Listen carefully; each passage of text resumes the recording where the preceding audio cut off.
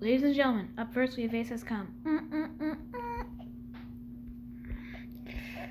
Whoa! Doing the Lorin Ball technique there.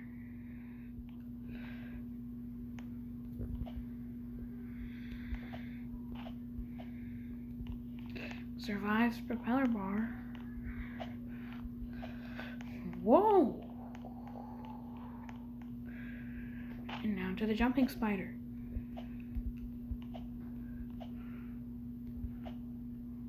This kid's an amazing athlete. Nice.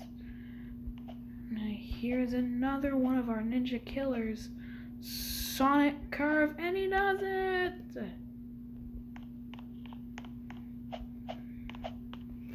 Right up the warp wall. Can he survive this? He does. He's now in the triple swing. This is where Paul Kasemir failed. no! He's down on triple swing.